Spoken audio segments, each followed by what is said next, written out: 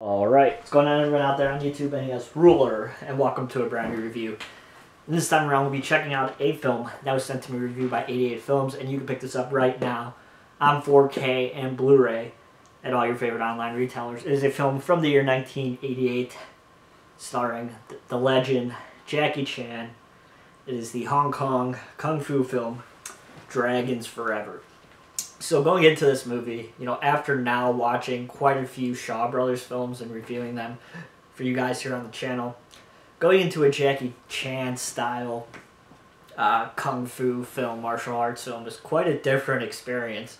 And I picked that up quite quickly watching this film because the style between those Shaw Brothers films and films like this, and I would assume other Jackie Chan martial art films are much more faster pace, faster style uh, kind of martial arts.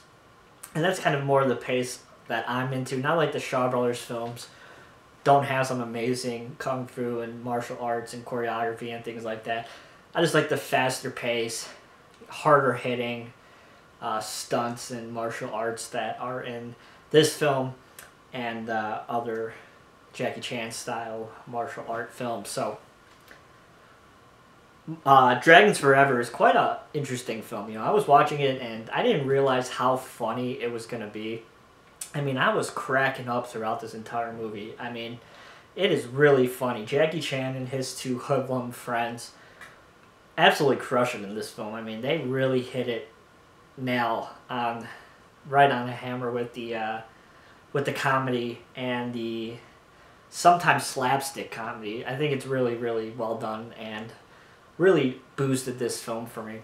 So we basically follow Jackie Chan's character. Jackie Chan is a lawyer, and one day he gets hired to do a case about this um, fish plant that is suing this chemical company for polluting the water near this fish plant.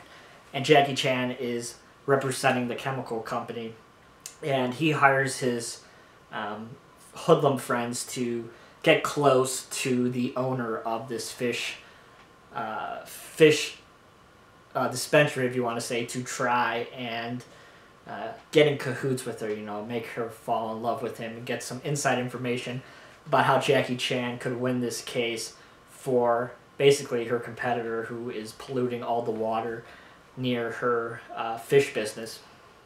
So along the way, uh, Jackie Chan uh, decides to try and fall in love with the niece of this woman who owns this fish uh, dispensary, and that's where the comedy ensues. This is, things go wrong uh, between Jackie and his friends, and it basically ends up um, with some comedy martial arts sequences that are quite funny and quite well done. I have to say I really didn't like it.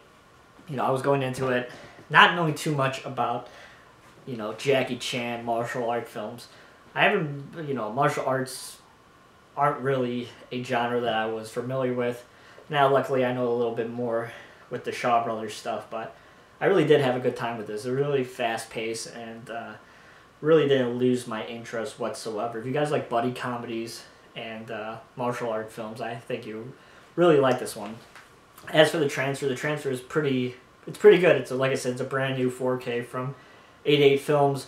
Uh, it includes the uh, the Hong the Cantonese version of the 4K, which is the 94 minute cut, and then it also has the English dub on it, and then they have the um, the Cyclone Z cut, which I'm pretty sure is known um, for the Japanese market, and that's the longest cut of the film. I think it has like two scenes. Let me, yeah, the uh, the Cyclone cut is 98 minutes, which is a Japanese version, and then the Cantonese version is 94 minutes. So I just went ahead and watched the 94 minute Cantonese version according to what I've read. The 99 minute cut just adds some scenes and things like that into the film. But the transfer is quite nice. Um, it's not mind blowing or anything like that, but it, it does the job. The audio is quite good. Like I said, I watched the Cantonese version, not the English dub, but uh, the Cantonese sounded really good. I have a Panasonic 4K player, one of the better 4K players you could buy. And I was having some trouble with the subtitles in a couple scenes. Uh, according to what I've researched, uh, if you have Panasonic and you have a Panasonic 4K player, the subtitles may be a little bit messed up in some scenes towards the middle of the film, but it catches up and everything else uh, is fine afterwards. But it seems to only be happening with Panasonic players from what I've been able to understand. And I know that 88 Films has been made aware of this problem, and I know they posted on the uh, Blu-ray.com forum that they're looking into fixing the problem with a future firmware update from Panasonic, hopefully. But if you have a Panasonic player, just note that uh, it did happen to me, and it seems to be happening to other people. So, but besides that, it was just a really uh, good transfer, good sounding audio mix. Uh, you could tell it's probably not the highest budget movie, so you're gonna get what you're gonna get. But as the package, you got a really nice, once again, really nice hard uh, keep case here. Uh, 88 Films is releasing some more Jackie Chan films. I know they're releasing Police Story 3 next year. It keeps getting delayed, just like this film kept getting delayed, delayed, delayed. I know that film got is going to get delayed until early next year. So, but this is a really nice keep case with some really nice artwork.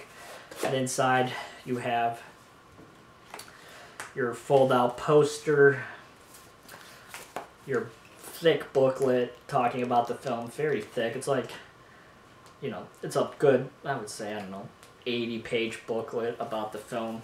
And then you have some lobby cards, some promotional artwork from the film, and then inside you have your Blu-ray and your 4K, and then if you like it, you have um, reversible cover art with the original cover art. So if you guys are into reversible cover art, you guys have that. Let me put this down so I can redo it. But this movie had a really fun time with it. I'm looking forward to checking out Police Story 3. Those are uh, that trilogy of films I also haven't seen before, so I picked up the uh, the Criterion of the first two, so I'll be checking those out before I hop into that. But that won't be coming until, like I said, uh, early next year. So I'm looking forward to that. But just another really nice package from 88 Films.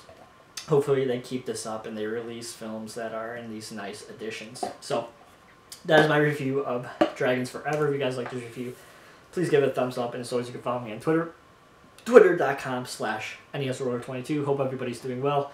Everybody had a good holiday, have a good new year, and I shall talk to you guys soon. See you guys.